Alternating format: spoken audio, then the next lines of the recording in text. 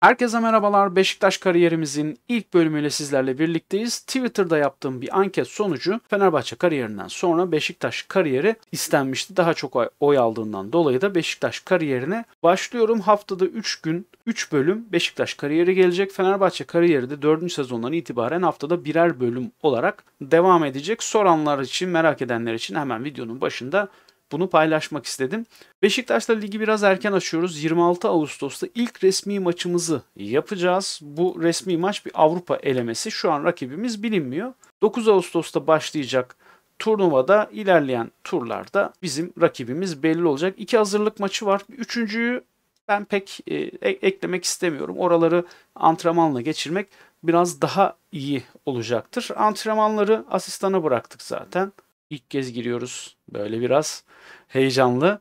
E, antren, antrenmanları şöyle takvime gelelim. Asistana bıraktık. Zaten sezon başı belirlidir. Biraz e, fiziksel antrenman yaparsınız. Biraz da taktiğinizi oturtmak için işte teknik ve taktik tabii yine e, kondisyon ağırlıklı antrenman olur bunlar.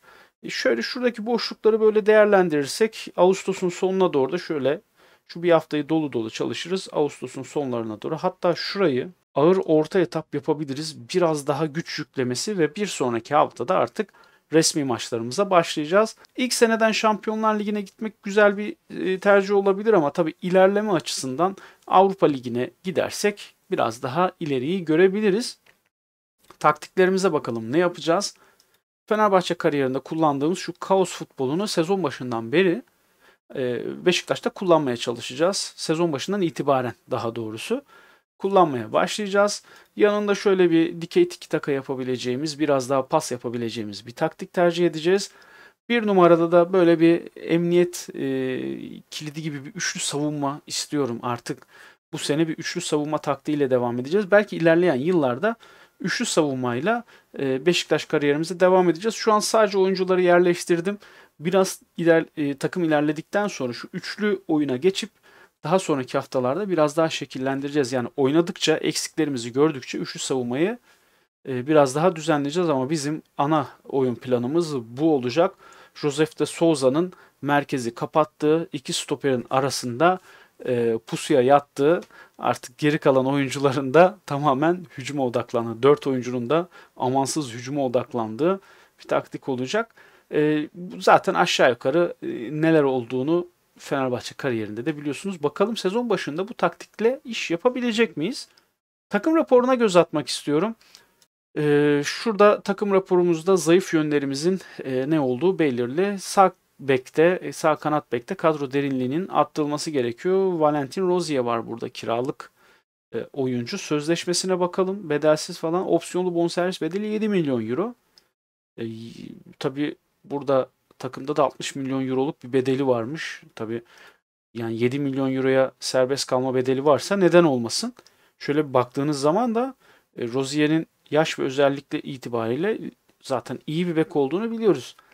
Yerine bunu idare edebilecek bir tane e, bek oyuncusu bulup, yerli bir bek oyuncusu bulup e, bizim ana bekimiz Valentin Rozier olabilir. Sezon sonuna doğru 7 milyon euroyu bulup alabiliriz. Tabi transfer bütçemize de bakacağız. Neler yapacağımızı da konuşacağız. Defansın ortasında kaliteli oyuncu az. Ee, Beşiktaş'ın en büyük sıkıntılarından birisi. Ee, Wellington geldi. Tabii biz Wellington'la oynayacağız. Kullanmamız lazım. Ayağı pek iyi değil. Teknik e, kötü. Güçlü bir oyuncu biraz hantal. Tabii bu taktikte savunma biraz geride olacağı için çok böyle geri dönüşlerde problem yaşayacağını düşünmüyorum. Vida var bir diğer oyuncumuz ki Vida e, gayet iyi. Aslında ilk senelerde Vida'yı satmak mantıklı olabilir. Hatta oyun başında hemen transfer listesine koyup satıp devam etmek e, mantıklı olabilir ama ben yine de e, Vida'yla devam edeceğim. E, yabancı sınırı da bir sonraki seneden itibaren azalmaya başlıyor. O yüzden çok acele etmeyeceğim. Kalecilerde sıkıntımız var. Yabancı bir kaleci almayı planlıyorum. Transfer hamlelerimizi yapmaya başladık. Fatih Kızılkaya'ya teklif götürdük. Ankara Spor'dan genç oyuncu. Murat Şahin müzakere etsin dedik. Bakalım gelirse altyapıda kalsın. İlerleyen yıllarda kullanabiliriz. Stoper bakıyoruz demiştik zaten. Diego ile görüştük ama kulübü kabul etmesine rağmen kendisi kabul etmedi. Peki Gigot var. Evet bu çok sağlam bir stoper. Samuel, Samuel Gigot. Olursa güzel olur. Biraz agresiflik düşük ama geri kalan özelliklere baktığımız zaman çok e, oturaklı bir stoper olduğunu düşünüyorum. Markajı zaten çok iyi. Top kapması biraz düşük ama geri kalan özellikleri hiç fena değil. Tabii ki de biz oturup konuşacağız. Son kararı vermeyeceğiz ama sürekli olarak bu görüşmeler içerisinde olacağız. Şunları geçelim bakalım. Yıldız oyuncu savunmacılara takviye yapılmasını istiyor. Peki tamam.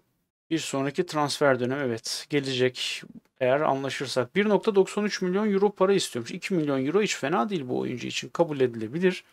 İmza parası yok.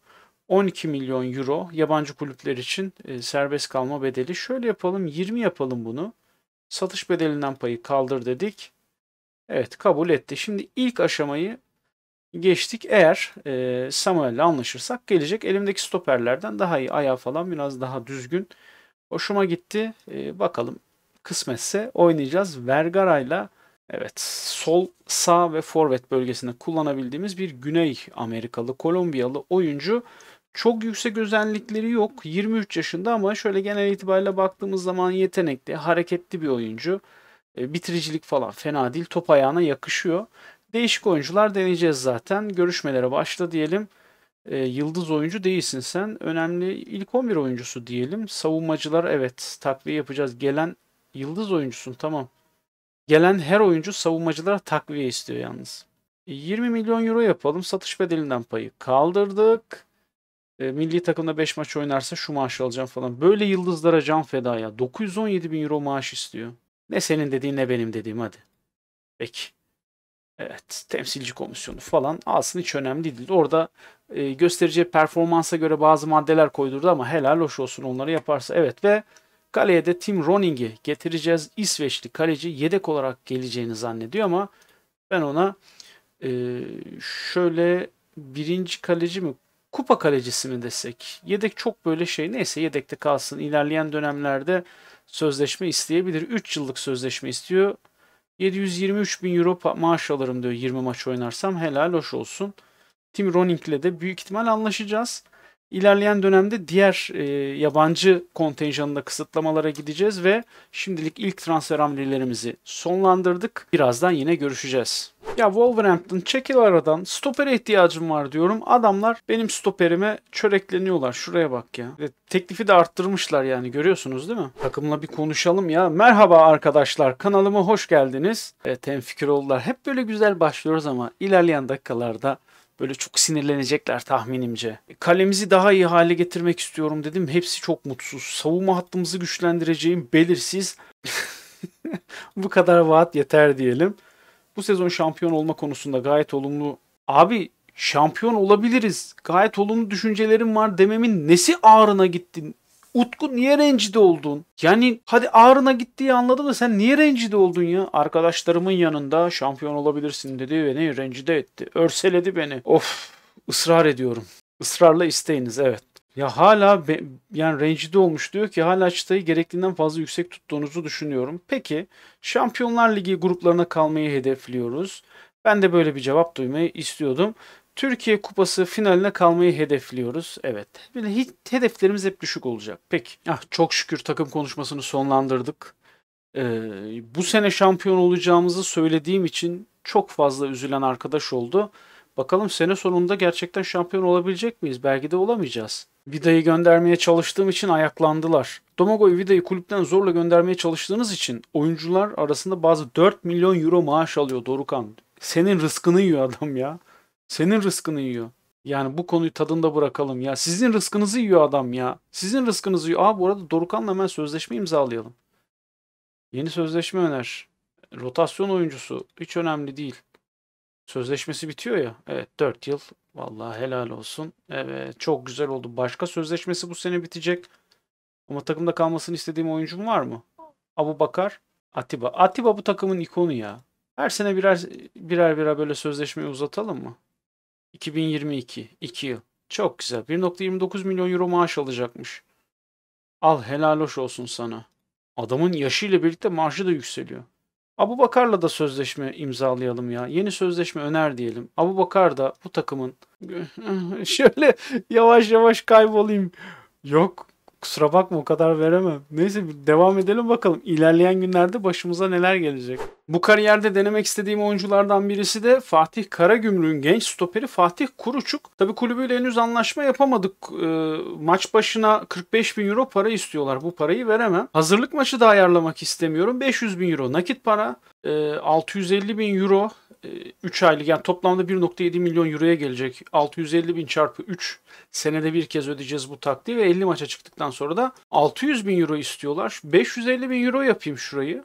Evet şöyle bir teklifte bulunalım. Ne istiyorlar? 10 maç e, yani illa biraz daha istiyorlar ama ben de Fatih Kuruçuk'la açıkçası 1.9 milyon euroya evet anlaştık. Tabi bu anlaşmada şöyle bir olay var. Bu sene benim cebimden çıkacak para 550 bin euro. Yani şuradaki mali duruma geldiğimiz zaman transfer bütçemden 550 bin euro para eksilecek. 550 bin euro. Önümüzdeki sene Siri... Siri sana ne oluyor? Dur ya. 600 bin euro buradaki 12 aylık 3 taksitimiz var. Her sene 600 bin euro ödeyeceğiz. 50 maça çıktıktan sonra da toplam 725 bin euro değerinde bir bonus maddesi daha aktif olacak. Ama ilk sezon 550 bin euro ödemiş olacağız. Fatih Kuruçuk'la da e, bu sene de oynamak istiyorum açıkçası. O yüzden bir bakalım nasıl olacak. Özellikle hava toplarındaki hakimiyeti ve ligde bizim işimizi görebilecek bir oyuncu olmasından ötürü Fatih Karaçuk'la da anlaşma yapacağız inşallah. E, Serra'da var aslında bizim santrafor repertuarımızda hava toplarında çok etkin bir oyuncu. Sırtı dönük oynama becerisi var aslında. Şu an farkında değil. Oyun karakteristikleri arasında yok ama tam böyle yardımcı forvet destek, yardımcı forvet hücum, pivot hücum gibi oynatabileceğimiz bir oyuncu ama şimdilik bu topa girmeyeceğiz. Evet, Tim Roning takımımıza katılıyor. Yedek forma süresi üzerinden anlaştık ama aslında bizim as olarak kalede düşündüğümüz oyuncu Tim Roning hayırlı olsun. Fatih Kızılkaya bizi kabul etmemiş. Murat Şahin'i göndermiştik sözleşme için. Murat Şahin de pek iyi değil demek arası. Ee, şöyle bir kulüp çalışanlarına göz attım. Antrenör eksiğimiz var. Gözlemcilerde futbol direktörü, antrenör gelişim sorumlusu vesaire bu tarz e, pozisyonlarda eksikler var. Bir de gözlemcilerimiz arasında bir gözlemci var ki Emre Ot Yakmaz. O da e, çok iyi değil gibi. Yani 34 yaşında geleceği var mı bilmiyorum. Çünkü biliyorsunuz antrenörlerin, gözlemcilerin bu tarz özelliğe sahip bu oyunda veri tabanında yer alan herkesin bir potansiyeli var. Bunların da potansiyeli var. Bakalım 1-2 sene böyle devam edelim nasıl olacak? Gelişim gösterirse kalır. Çünkü şöyle Ufuk Pak mesela 63 yaşında ve baktığınız zaman fena değil özellik itibariyle. E burada Fikret Demirer var. Buna da baktığımız zaman fena değil. E, işte o yüzden Emre Ot Yakmaz bakalım ilerleyen dönemlerde nasıl olacak. Şimdi bir antrenör ekibini de elden geçireceğiz. Çünkü antrenör ekibinde de biraz eksikler var. Şöyle baktığımız zaman da hücum, teknik, taktiksel anlamda falan hepsi bir yıldız, bir buçuk yıldız. Bu antrenörlerden de e, bazılarından kurtulup bazılarından da daha verimli olabileceği antrenmanlara yönlendirip bu sıkıntımızı da gidermemiz lazım. Oyunun şimdilik bu kısmında da antrenör avına çıkacağız. Bakalım başarılı olabilecek miyiz? Ensakala'ya teklif var. Toplam değeri 1.8 milyon euro. 1.2 milyon euro. Garanti para var. 2 taksit 180 bin euro var. Tabi bizden bir de 261 bin euro maaş istiyorlarmış. E, 260 bin euroyu size vereceğiz. 1.2 milyon euro maaştan tasarruf edeceğiz. Aslında çok iyi bir teklif değil ama ben teklifi beklettiğim. Çünkü sattığımız oyunculardan para almayacağız. %10'u bize gelecek sattığımız oyunculardan. O transferden 100 bin dolar falan gelecek. Şikirtel. Bir sezon alsak ne olur? Bakalım sadece bir sezon deneme teklif edelim. Sadece bir sezon gelsin. Biz zaten savunmayı kaleye yakın yapıyoruz. Yani mükemmel bir stoper. Tek eksi fiziksel anlamda biraz eksikliği var. Şöyle 1 milyon euronun altında bir paraya sözleşme imzalatabilirsek şikirteli gelsin. Başımızın üstünde yeri var. Bir sene oynarız kendisiyle. Bu arada gözlemcilerimizi de epey e, çalıştırıyoruz. Bayağı bir e, gözlem listemiz dolu. En Sakala başka teklif var mı? Ha, bu tek teklifti tabii. Doğru. Biz burada En Sakala'yı acaba e, şöyle kulüplere öner diyelim. Acaba transfer listesine koysak teklif gelir mi diyecektim ama tabii 1.8 milyon euro, 1.2 milyon euro çok düşük değerler. Evet Şikirtel gelecek ve antrenman kamp kadrosuna ekleyelim. Şikirtel'le bir sözleşme imzaladım. Burada oyuncuya deneme teklif etmemin sebebi şu. Boştaki oyunculara deneme teklif edin. Kadronuza geldiği zaman yani deneme sürecindeyken daha düşük maaşlara imza attırma ihtimaliniz olabiliyor. Önemli oyuncu değilsin artık. İlk 11 oyuncusu diyelim sana. Evet e, ve burada 1.48 milyon euroluk bir bedel istiyor. Şuralara çekebilirsek 25 maç oynarsan şimdi 40 maçlık serüvende 25 maç fena değil. 11 aylık bir sözleşme 1.42 milyon euro. Ya aslında e, bir sene için harika bir transfer. Onu söyleyeyim size. Bir sene kullanacağınız bir oyuncu için şu fiziksel özellikleri düşünmezseniz bence çok iyi. En önemlisi çok büyük bir tecrübe yani Şikirtel. Şuraya da 25 maç yapalım. Şartları öner diyelim. Kabul etmedi. Önemli değil. Belki 1,5 milyon euro versek kalabilirdi ama hem e, 1,5 milyon euro vereceğim hem de onun istediği gibi işte 15 maçta ben sözleşme uzatırım bir sene daha. O şeylere girmeye gerek yoktu. Başarısız bir hamle oldu bizim için ama ben çok düşünmüyorum. İki önceye teklif yapılmadı. Douglas'a da teklif yokmuş. Transferler kulüplere öner. Gerçekten Douglas'ın gitmesi lazım. Burada başka kim var? Transferler, transfer listesinde diyelim Vida için. Kulüplere öner diyelim. Maaşa katkı yok. Pazarlıktan çıkar dedik. Aslında bu kadar acele etmeyip Vida'yı devre arasında falan daha iyi paralara satabiliriz. Vida kötü bir stoper değil. Gerektiğinde sağ bek de kullanabiliriz. Zaten çok zorlamayacağım. Eğer gitmezse e, çok da elimiz rahat etmeyecek ama evet hep, hep maaşta problem yaşıyoruz ya. Atiba sözleşmesini 2 sene daha uzattı. Zaten bu sene sonunda bitiyordu. Bir sene de biz üstüne koyduk. 2 sene. Toplantıya katılmayacağım. Bu toplantılarda oyunun ilk tanıtıldığında çok keyifli, çok güzel olacağını düşündük ama ne yazık ki öyle olmadı. Evet ilk antrenörümüz geliyor. Kevin. Kötü olduğu bir antrenör. E, antrenörlük kategorisi yok gördüğünüz üzere. Şöyle antrenörlerimizi de daha sonra antrenman görevlerine bakalım. Neye gelmiş hemen? Evet, toplu oynama taktik. Sen toplu oynama teknikte kal. Ama ilerleyen dönemde seni de göndereceğiz. Çünkü Ozan yani kusura bakma hani çok yetersiz. Çok yetersiz Ozan Köprülü. Tabii oyun için bu. En sakalı için bu riski almaya değer mi? Evet ilk hazırlık maçına doğru ilerliyoruz. Şikirteli bir sözleşme daha teklif etsek kabul etmeyecek sanırım değil mi artık? Evet bitti yani Şikirtel için bizim takıma gelme ihtimali. Sorumluluklardan hazırlık maçlarını asistana bırakalım. Bu arada yeni bir asistanla görüşüyoruz. Size onu da göstermek istiyorum. Gelen diyelim burada. Evet. Ee, nerede? Raul. Asistan menajerimiz Raul Riancho.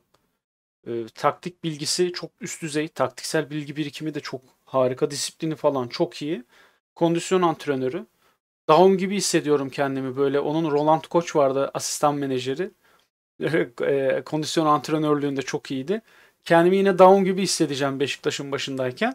Şöyle baktığınız zaman gayet e, iş yapabilecek bir asistan menajer. Murat Şahin'le de yer değiştirecekler ilerleyen dönemde. Biz yine yeni bir sözleşme veya yeni bir olay olması halinde sizlerle birlikte olacağız. Şimdi biraz daha ilerleyelim, tarihi ilerletelim. Şampiyonlar Ligi ön elemesinde eşleşmeler gerçekleşti. PAOK'la eşleştik. İkinci ön eleme turunda PAOK'la oynayacağız. Gerçek eşleşmenin aynısı oldu ama bu sefer inşallah tur geçen taraf biz oluruz. Bu arada hazırlık maçı da pek iyi gitmiyor gibi. 4 ee, yedik. Yani deplasmanda 4 yemek pek e, iç açıcı bir durum değil ama savunmanın çok kötü oynadığını görüyoruz. Orta saha istediğimiz düzeyde oynamış. Larin de skora katkı sağlamış. Yani orta saha oturduktan sonra zaten e, savunma da oturursa biz bu işi alır götürürüz. E, hazırlık maçları da zaten e, bunları biraz daha ortaya koymak için ilk maçımızdı. Ben ikinci hazırlık maçından sonra PAOK karşısında biraz daha oyunumuzun net ve daha düzgün olacağını tahmin ediyorum. Antrenör ekibimiz evet şu an gördüğünüz üzere kondisyon antrenörlüğü, 5 yıldıza ulaşmış biri 4,5 yıldız hücum taktiksel toplu oyun taktik savunma taktik farkındaysanız takım oyununu oturtmak adına taktik antrenörlerini taktik antrenmanlara biraz daha önem verdim ama teknik antrenmanlar da bireysel performanslar için biraz daha etkilidir biraz daha kişisel şeylere etkiler ama e, burada çok onu baz almayın siz açıkçası. Ben sadece e, mantık olarak bir şey söylüyorum. Oyunda bu birebir etkilemiyor olabilir. Ama bizim halen antrenör ekibinde eksiklerimiz var. Görüşmelerimiz devam ediyor bu arada. Şöyle transferler gelen diyelim. Jason Dodd şu an görüştüğümüz antrenör savunmanın her e, türlüsünü yapıyor. Savunma taktik, teknik anlamda da gayet iyi. Yani savunma hocası olarak alacağız. Asistan menajer olarak gözüküyor ama antrenör sözleşmesini kabul etti. Kadroya da katılırsa gayet iyi olacak. Bu arada Brighton kiralık teklifinde bulundu. Ee, burada Domagoj Vida'ya aylık 200 bin euro para vereceklermiş. Herhalde maaş bütçesi yok. Aylık 200 bin euro da ne yapıyor? 2.1 milyon euro yapıyor. Bu oyuncunun maaşı 4 milyon euroydu. Yani maaşının e, bir kısmını e, kullanacaklar. Şimdi şöyle bir olay var kafamda. Bu oyuncudan e, kurtulma sebebim maaşının yüksek olmasından ötürü. Kötü bir oyuncu değil. Oynatsak çatır çatır verim alacağımız bir oyuncu. E, yani bu, bu ücretleri ben kabul etmiyorum zaten. Durumunu ayarlamam, ayarlanmamış yapalım. İstediğimiz e, düzeyde teklifler gelmiyor. Satmam, kullanırım. Yani en azından biz faydalanırız. 4 milyon euroluk bir stoper değil. Bu arada Fatih Kuruçuk da geldi. Kadroya kattık. 4, 4 milyon euro maaşı hak eden bir stoper değil ama bu arada bizim e, gözlemlemesini istediğimiz genç oyuncular da gözlemlendi ve şu an raporlar geliyor. Evet, biraz iddialı oyuncuları mı gözlemlemişiz? Evet potansiyel yıldızlar hep 5 yıldız 5 yıldız gidiyor. Ziri deplasmanı var. Ya şunları geç. Bir hazırlık maçı daha yapacağız. Evet geliyor musun? Evet Samuel Gigot kabul et dedik ve sanırım e, güzel bir oyuncu kadromuza kattık bir yabancıyı çıkaracağız. En Sakala e, transfer listesinde ya gitmezse En Sakala yapacak çok bir şeyimiz yok. West Bromwich Adem Laiç'i istiyor. Şey yapacağız. Montero'yu kullanmayalım. Montero'yu sildik. Listeden Douglas'ı da sildik. Evet seçimi onayla dedik. Şimdi Wellington endişelenmeye başla. Bence gitmelisin yani bu takımdan. Ee, evet bir de senin gönderilmen diyelim. Yok yok kararımı verdim. Ya bozulsun morali ya. Takım dinamikleri ne halde? Tabii yerlerde. Yalnız şöyle bir olay oldu şimdi. Wellington, Samuel. Şikirtel'le sözleşme imzalayamamıştık. Bence Şikirtel çok güzel bir hamle olabilirdi ama ne yazık ki olmadı. Gigot burada cuk diye oturdu. Top kapması kötü ama ona bakmıyoruz abi biz. Zaten top kapması da bu oyuncunun 14, 15 falan olsaydı biz alamazdık. İyi bir sözleşme oldu bence. 5,5 milyon euro İlerleyen dönemde de 8,5 milyon euroya kadar çıkabilecek bir bedel. Tabi 5,5 milyon euroyu tek seferde yapmadık. 20 milyon euro da maliyeti var. İşte geldi çattı. Evet maaş bütçesi Şimdi devre arasına kadar en azından böyle içeride gidelim. Ne yapalım? Seni de satmayacağız o zaman. Göndermeyeceğiz. Aslında yine elimizde sol bek olarak kullanabileceğimiz bir sürü oyuncu var. Hani biz adımlarımızı böyle öyle boşa sallamıyoruz. Genç oyuncular 5 tane şurada sol bek listemiz var. Genç oyuncuları geçtik. Sene sonu sözleşmesi bitecek. 2 tane sol bek varmış. Bunlar bize biraz uzak olabilir belki ama burada bir de varsayılan listemizde Jesus Galardo var. Kim Lille transfer etmek istiyormuş. Yani şu oyuncuyu 4-5 milyon euroya alıp e, deliler gibi kullanmak vardı. Teklif yap. Şöyle 2,5 peşin vereyim. 3 taksit e, 2,5 olsun. Şunu biraz düşürelim. Ve e, bir senede geri kiralama süresi diyelim. Maaş falan da istemiyoruz. Ne diyecek? Aa çok iyi oldu lan. Biraz daha düşük bedel mi verseydik? En azından sene sonunda şey yaparız. Kiralık sözleşmesi de iptal edilebilir yaparsak en azından bon servisi bizde olur. Yarım sezon orada kulübünde oynar ve gelir. Ee, şey kararlılık falan biraz düşük ama ya zaten bu tarz bir oyuncuyu da kararlılığı da yüksek olsa bu paralara transferi biraz zor olurdu. Muhayyer Oktay 4-5 hafta yokmuş. E, Gallardo bize gelmek istiyor. Önemli oyuncu diyelim. Evet ama tabii burada şöyle bir olay devreye giriyor. Artık maaş bütçemiz ve transfer bütçemiz de bitiyor. Satış bedelinden payı kaldır. 20 milyon euro hatta 25 yapalım. 1.41 temsilci komisyonu tamam kabul edilebilir. Gallardo gelirse çok güzel olur bence. Çok e, kaliteli, hareketli, yetenekli bir bek oyuncusu. Bu tarz bek oyuncularıyla oynamayı seviyorum. Tabii en sakala giderse hemen alırız. Kim? Ha, Levent Açıl kaleci antrenörü. Ee, Hakan Çalışkan. Hakan Çalışkan'ı göndereceğiz o zaman. Şöyle kabul edersek Evet bu arada Adem Laiç'ten gidiyor mu Adem Laiç? West Bromwich 3.7 milyon euroyu alırım diyor. 20 maç sonra 2.1 milyon euro para öderim diyor. 900 bin euro da böyle bir şeyler vereceğim diyor. Ee, ya çok kötü bir anlaşma. Şu an maaşı ne kadar vereceğiz? Bu kiralama için toplam 300 bin euro verecekmiş. Oğlum enayi mi yazıyor az, alnımızda? Yani siz manyak mısınız? 7,5 milyon euro veriyorsan al, almıyorsan git. Jason Dodd gel bakalım. Evet toplu oyun savunma teknik ve savunma taktik. Bize bir de kaleci antrenörü lazım ya çok net. Antrenör eksiğimiz var. Şu an antrenör sayımız ne alemde bir ona bakalım.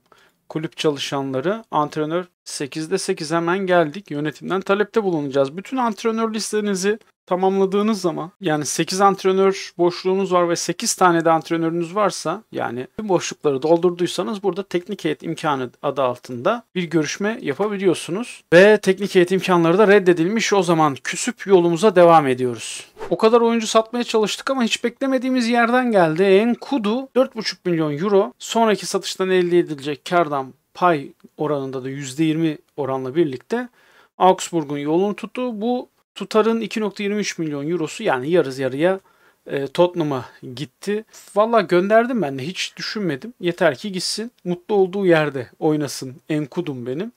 E, gönderdik. Adem Laiç, Domagoj Vida bu oyuncularla birlikte yola devam edeceğiz. Evet yarısı Aux e, şeye gitti. Tottenham'a son antrenörümüz geliyor. Son kale kaleci antrenörü. Bu arada PAOK maçımız var. PAOK maçından önce o maça özel şu antrenör görevlerinden de iki antrenmana da verelim. Evet. Gördüğünüz üzere antrenörlerimizi tamamen yeniledik ve artık ekleme yapamıyoruz. Ee, en kısa sürede artık ne zaman olur bilmiyorum. Yönetimden talepte bulundum. Antrenör ekibimizi yükseltmemize, sayısını yükseltmemize izin vermediler. En kısa sürede bu sayıyı yükseltip yeni antrenörler eklememiz lazım. Yüzde kaç etkiliyor, ne kadar etkiliyor hiçbir fikrim yok. Çok kötü antrenör ekibiyle de şampiyonluklar yaşadım. İyi antrenör ekibiyle ama her şeyin iyisine layık olduğumuz için antrenör ekibinde e, iyi yapacağız. Bu arada e, sakatlarımız var, eksiklerimiz var. Kimleri alacağız, kimler kalacak bilmiyorum ama burada Douglas, Douglas Avrupa kadrosuna da almayayım. Hepten vazgeçtim ben Douglas'tan. Burada takım çalışması hücum organizasyonları çalıştırması yaptım maçtan önce. Biraz bitiricilik eksikliğimiz olabilir. Orta sahada e, Adem Laiç, stoperde de Vida ile başlayacağız. Tabi bunların sebebi ikisi de zaten e, bu takımda süre alabilecek, takımda oynayabilecek oyunculardı. Bizim o oyuncularla alakalı tek bir sıkıntımız aldıkları maaşların çok yüksek olması. Yani o kadar yüksek ki takım arkadaşların rızkını yiyorlar resmen. 4 milyon euro. Niye hazırlık maçı yapıyorsunuz? Niye hazırlık maçı yapıyorsunuz? Ayarlıyorsunuz. İstemiyorum hazırlık maçı yapmayın. Şu turu geçtikten sonra zaten e, bir eleme turu eşleşmeleri gelecek. İnşallah geçeceğiz bu turu. Sürekli olarak e, şey e, hazırlık maçı tavsiyesinde bulunuyorlar. Utku'yu çıkardık. Montero, Douglas çıktı.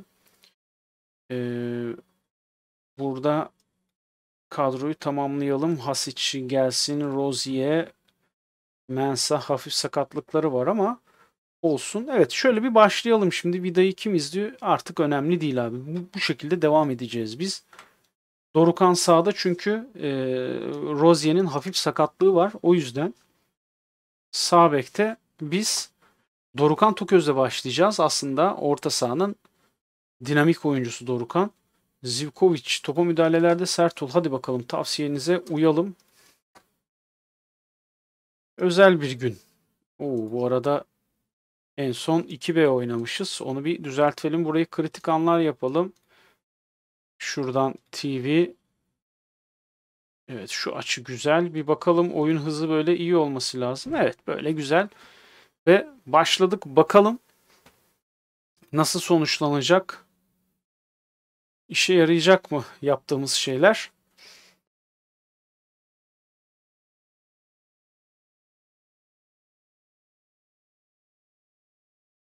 Güzel paslaşmalar. Laiç yine orta sahada topu öne taşıyan oyuncu ve şu anda ata devam ediyor. Görüyorsunuz ceza sahası içerisine de girdi şu an ve Larin'in ön direk koşusu Dorukan'ın ortasında 1-0 öne geçtik 5. dakikada.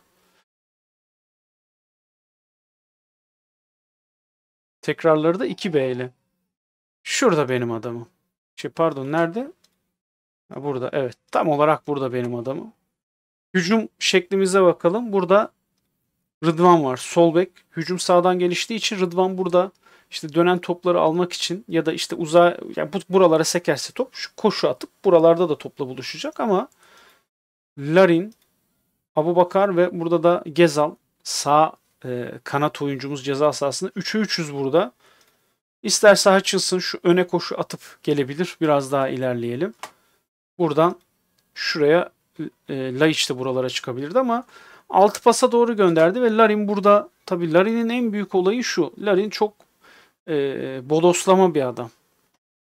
Öyle söyleyeyim yani. Güçlü, hava topları var. Fiziksel anlamda iyi. Bitiricilik de fena değil. O yüzden bu tarz pozisyonları çok göreceğimizi tahmin ediyorum. Eğer arka direk koşularını Larin'e attırabilirsek gol sayısında iyi olacağını düşünüyorum. Evet Hutchinson Bey Ferguson'ın dediği gibi oynadığınız oyundan zevk alın. Rıdvan çalım attı. Larin'e bıraktı. Larin çok işte bu pasları yapamayacak Larin. Andrea Zivkovic zamanında ne oyuncuydu be. Abubakar indirdi. Evet Larin aldı savunmanın hatası. Kaleye vurdu. Orada biraz daha beklemesini düşünebilirdik. Ama tabii e, sağ açık sol açık hücum olduğu için bir an önce hata sonuçlandırmak isteyecekler. Bek oyuncuları bindirince oyuna genişlik kazandırınca biraz daha e, genişe yayabiliriz oyunu. Biraz daha pasa dönebilirler ama şu pozisyonlarda hiç beklemeyip sonlandırmaya çalışacaklar. 3 şut çektik. 3'üsü, 3'ü de, 3'üsü de, 3'ü de gol olmuş. 0 şey, 3'ü de kaleyi bulmuş. 0.87 gol beklentisi. Rakip fazla şut çekmiş ama 7 korner kullanmışlar. 9 kez faal yapmışlar. Bizim henüz faalimiz e, bir şey pardon 6 kornerimiz bir. Evet Vergara oyuna girsin. Larin yerine Larin yorulmuştu. Vergara biraz daha böyle e, teknik bir adam. Larin'den. Raşit Gezal yerine buraya tabii ki de Hasic'i atacağız. Ee, 93 maç bitmiş. Değişik. Ne kadar hızlı geçti maç. Ee, şuraya Necip'i atalım. Adem Laiç yerine Oğuzhan Özyakup. Solbek Rıdvan Ensakal'a atalım. Böyle 5 oyuncu birden değiştirelim ya. E, en azından Avrupa'da oynasınlar diyecektim? Zaman çok hızlı geçti. Takip edemedim açıkçası. Vida ve Gigot iyi oynadılar. Tim Ronning e, takımın en iyisiymiş. 7.4 oynamış. Beklediğimiz performans buydu kalecimizden. Evet 1-0'la bu turu geçtik. İlerleyen maçlarda çok daha iyi olacağız. Hücum organizasyonlarımız, ataklarımız çok daha iyi şekillenecek. Buna eminim. E, rakibin şut sayısı da topla oynama yüzdesi de bizden fazla ama şu oyun tarzında topla oynamasının rakibin topla oynama oranının yüksek olmasının e, zerre umurumuzda olmadığını söyleyelim. Önemli olan skoru almak. Souza Türk futboluna geri dönmüş. Hayırlı uğurlu olsun. Asistanı gönder diyelim.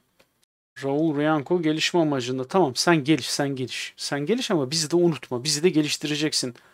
Wellington neymiş?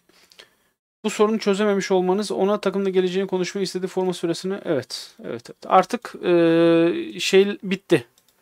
Kapışma, satmaya çalışma, işte göndereceğim seni falan filanların hepsi bitti. Tamam. Takım dinamiklerinde herkesi mutlu etmeye çalışacağız Douglas haricinde.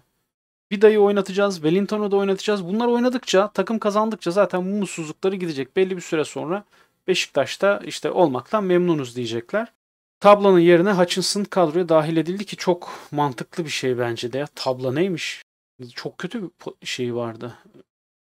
Profili vardı. Evet, transfer geçmişi dedik. Bu sene çok gelen giden var. Ee, Enkudu'yu sattık. Başka da gönderebildiğimiz bir oyuncu yok. E, aldıklarımıza bakalım. Samuel Gigot'u aldık. 8,5 milyon euroya kadar çıkabilecek bir bedel var. 5,5 milyon euro ilk etapta ödediğimiz para. Jesus Galardo geldi ama Galardo şu an Monterrey'de kiralık. Bu seneyi orada geçirecek. E, kiradan çağıramıyoruz. Öyle kaldı. O yüzden hiç ellemeyelim. Bu seneyi orada geçirsin. 26. yaşında e, orada kalsın. 27. yaşında inşallah bizlerle birlikte olacak. Güzel bir sol bek en azından önümüzdeki sene sol bek derdimiz olmayacak. Duvan Vergara'yı getirdik. Hem sağda hem solda oynayabiliyor. Ayağı düzgün, teknik kapasitesi olan bir oyuncu. Bakalım neler yapacak. Tim Rolling'i kaleye getirdik. Güzel bir kaleci bence. Gelecek vadeden bir kaleci. E, konsantrasyon falan çok üst seviye. İyi olacak bence. Pozisyon alma, konsantrasyon falan baya böyle bizi mutlu edecek bir kaleci olacak diye düşünüyorum. Fatih Kuruçuk e, geldi. Stoper tandeminde kullanacağız. Bilal Ceylan bunu biz almadık. Zaten Eskişehir'den gelmişti ama bu baya böyle hız hızlanması falan da baya iyiymiş Sabek. Hız hızlanma 15-16 çeviklik ama geri kalan hiçbir şey yok. Neyse. Ee, şöyle baya baya zaten bir sürü transfer yapılmış. Üstüne biz de epey bir oyuncu aldık. Bir tane oyuncu satabildik. Keşke Vida'yı ve e, Laiç'i de iyi paralara satabilseydik. En azından takım biraz daha rahatlayacaktı maaş konusunda. Bir sonraki bölümde artık Şampiyonlar Ligi maçlarını da yapıp öneleme maçları ve lig de başlıyor artık. Biraz daha böyle heyecanlı olacak. 31 Ağustos'tayız. 1-2 hazırlık maçıyla takımı iyice ligi hazırlayacağım ben. Tarih daha erken bir tarih bekliyordum ama 16 Eylül'deymiş. Gerçi bu arada milli takım maçları da var herhalde. O yüzden bu boşluğu da rotasyon oyuncuları ya da yedek oyuncuları da kullanabileceğimiz hazırlık maçları düzenleyebiliriz. Bir sonraki bölümde görüşmek dileğiyle arkadaşlar. Kendinize iyi bakın. Görüşmek üzere. Hoşçakalın.